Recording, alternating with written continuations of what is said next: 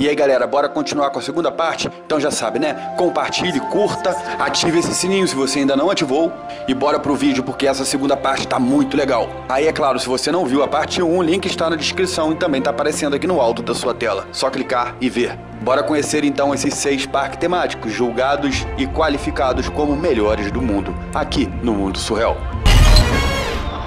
E bora pro nosso sexto lugar com Le Puy do Full.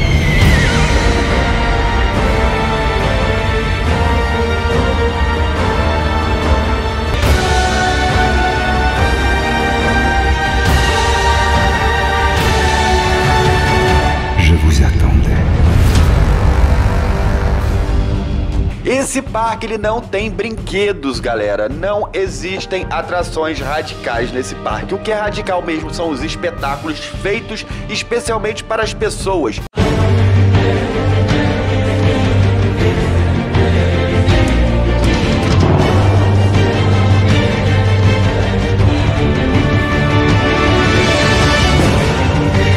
Ele é localizado em Vendée, na França, o Le Puy du Fou é um parque medieval, temático e histórico, inaugurado em 1978. É o segundo mais visitado do país. Ele fica atrás apenas da Disneylandia Paris e ele é conhecido por uma série de espetáculos. São mais de 2 milhões de visitantes por ano. São 55 hectares de terreno dentro de uma floresta centenária, perto de Nantes, que fazem do parque ser uma proposta diferente, provocar uma volta ao tempo com shows espetaculares, isolados no meio do nada, em meios a cavaleiros, vikings, mosqueteiros, romanos e tudo que tem direito. Parece que você está vivendo um Game of Thrones ali. Tudo em contextos ricos de detalhes que fazem o visitante realmente entrar no clima.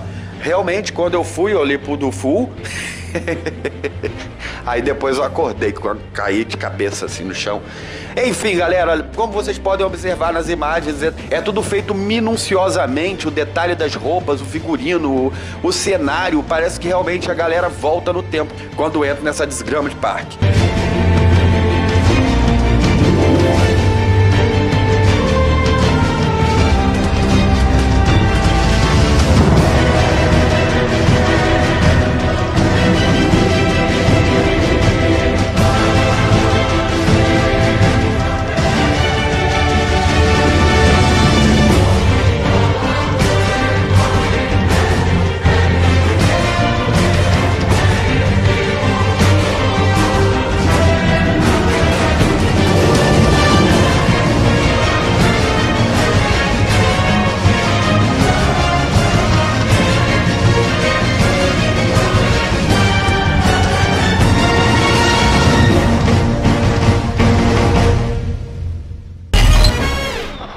Mas bora pro quinto colocado, tá? o Universal Studios Hollywood.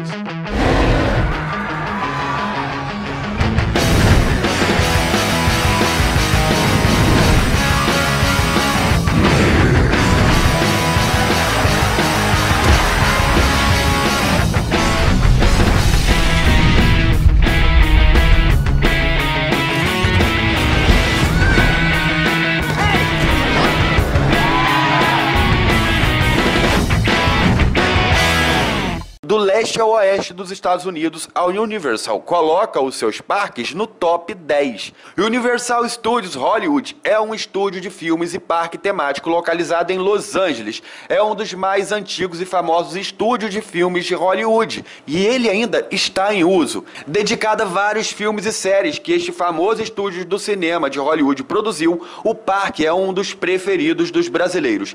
A atração mais procurada pela galera ainda é o Estúdio Tour, que como o próprio nome diz, é um tour completo pelos estúdios da Universal.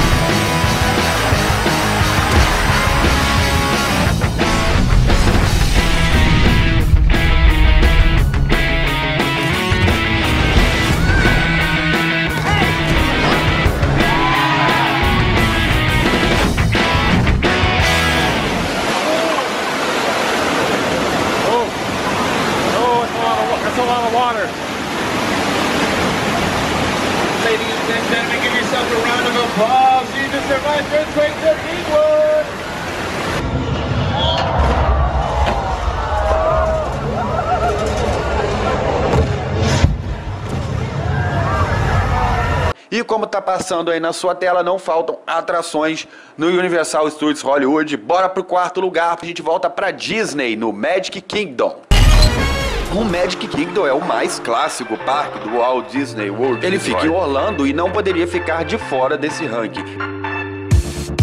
Now we will go back home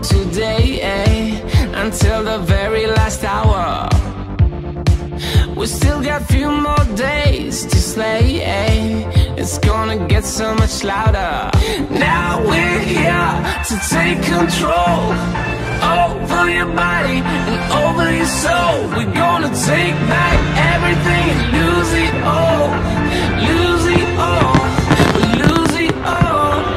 Ele foi inaugurado no dia 1 de outubro de 1971. É o primeiro parque construído no complexo. Em 2014, por exemplo, o parque atraiu 19,33 milhões de visitantes. Caraca, é muita gente tornando-se o mais visitado no mundo pelo sexto ano consecutivo naquela ocasião. Ele só foi desbancado futuramente pelo Parque da Universal.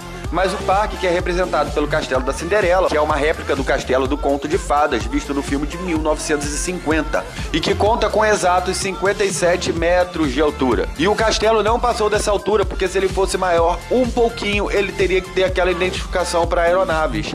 Uma luz vermelha lá no topo, sabe qual é? E aí poderia tirar o encanto e a essência da parada. Imagina, um castelo da Cinderela, um negócio lá de 1900. uma parada lá dos séculos passados com identificador de aeronave, uma antena vermelha piscando no topo. Não ia rolar. E bora rolar com a nossa lista e vamos girar lá pra Europa, porque vamos pro Europa Park. Bienvenue und willkommen im Europapark Fahrtwind, virtuelle Abenteuer und Kulis beliebten Nachbarlandes Frankreich erstrahlt der weltbeste Freizeitpark in neuem Glanz. Begrüßen Sie mit uns die Neuheiten der Saison 2018. O terceiro lugar, ao desbancar grandes nomes de entretenimento mundial, o Europa Park, que fica localizado em Rust, na Alemanha, é considerado uma referência em parques temáticos com diversas atrações para todas as idades e gostos. De brinquedos tranquilos a montanhas russas mais radicais do mundo, o Europa Park é o segundo parque temático mais visitado de todo o continente, atrás apenas, novamente, da Disneylandia Paris. Ele foi inaugurado em 1975 e o Europa Park é o maior parque de diversões do país. Alone I feel the rain crashing down All around this empty town. I'm searching for the lost and found. But you don't care, you're unaware. Keep moving like the scars aren't even there. It's in the air,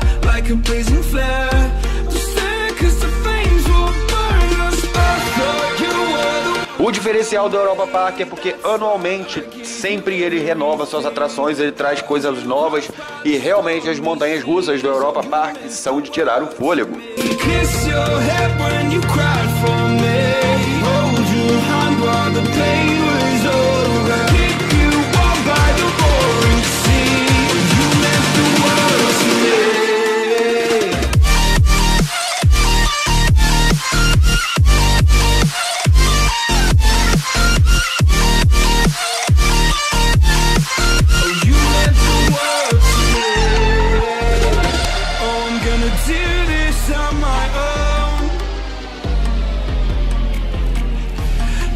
In blaming you, you did not know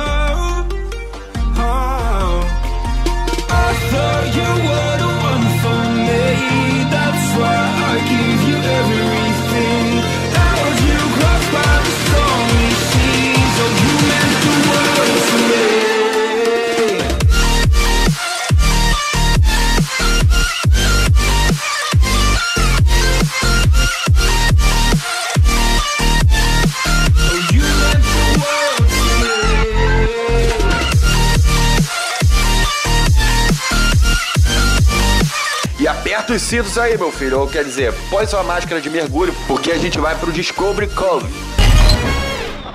Eu tive que ir agora no Google Tradutor ver como se pronunciava essa palavrinha. Meu Deus do céu, que vergonha.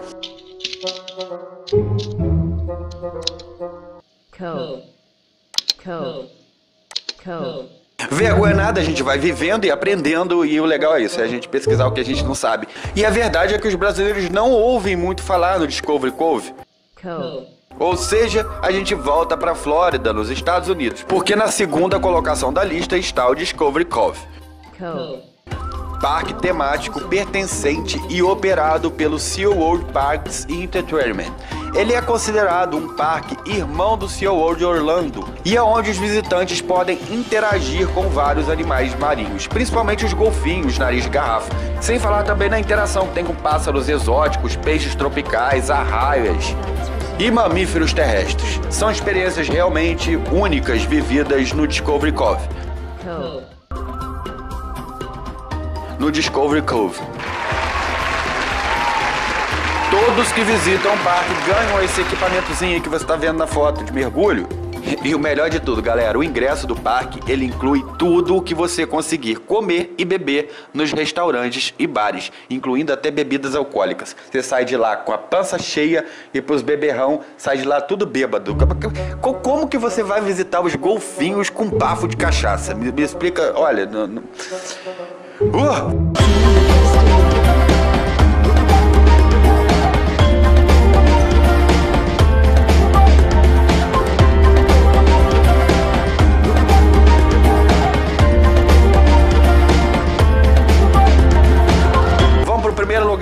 Sim merece a nossa atenção e merece o nosso respeito. Deixa de passar, porque eu tô falando da Universal Island of Adventure, a ilha da aventura do parque da Universal, que fica em Orlando, nos Estados Unidos.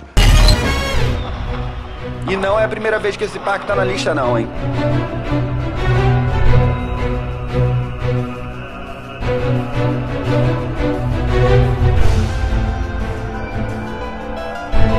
Ele fica localizado no complexo da Universal Orlando Resort desde maio de 1999, que foi a data de sua inauguração.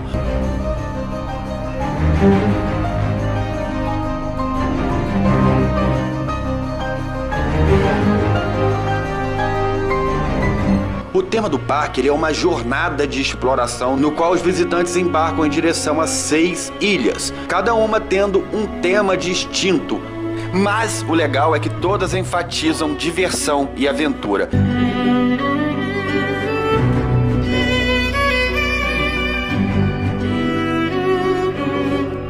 Vários funcionários vestidos como personagens de filmes e imagens e, é claro, interagindo com os visitantes ao longo do dia. O tempo todo lá tá juntinho de você o Homem-Aranha, Capitão América, Tempestade, Wolverine e entre tantos outros personagens tanto da Marvel como da Universal. O Hulk, para quem não sabe, é da Universal. A primeira montanha de sucesso do Universal Park foi inclusive a montanha russa do Hulk. O parque realmente, incontestavelmente, é o parque mais legal do mundo e eu vou contar para vocês a história do Universal Park. Mas não vai ser hoje não, claro. Vão ser seis episódios do Universal Park, porque a história é longa, a história é incrível e eu vou mostrar para vocês todas as atrações que rolam dentro do Universal Park. Eu vou levar vocês diretamente para Orlando na Universal Park. É claro que aqui pelo vídeo, né? Nem eu vou para Orlando, tadinho de mim.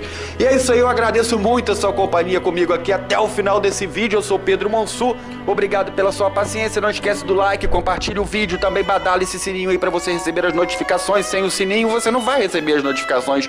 E se você curtiu essa lista, é claro, deixa o seu like. Se você não curtiu essa lista, lista, você vai lá e reclama com o TripAdvisor. Mas também deixa o like aqui no canal. Tio Pia tem nada a ver com isso não. Valeu, um grande abraço e até o próximo vídeo.